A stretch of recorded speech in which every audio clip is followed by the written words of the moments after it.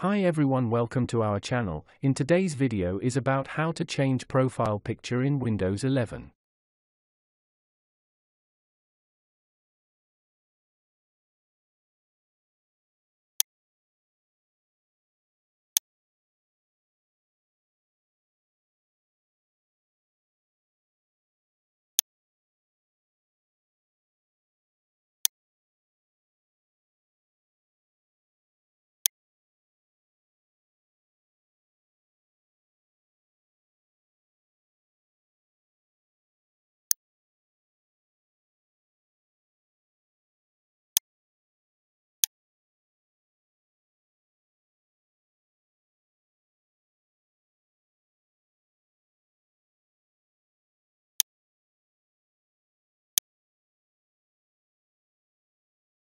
If you found this video helpful, please like to encourage us and subscribe to our channel. Leave comment and share it with others so they can benefit too.